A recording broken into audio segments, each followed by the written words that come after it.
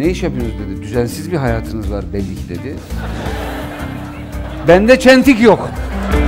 E, senaryoyu okumayacak mısın? Yok dedim. Çok yok. Monica Bellucci oynayacak yalnız dedi. Oynarım dedim ben. Tabii. İyi akşamlar.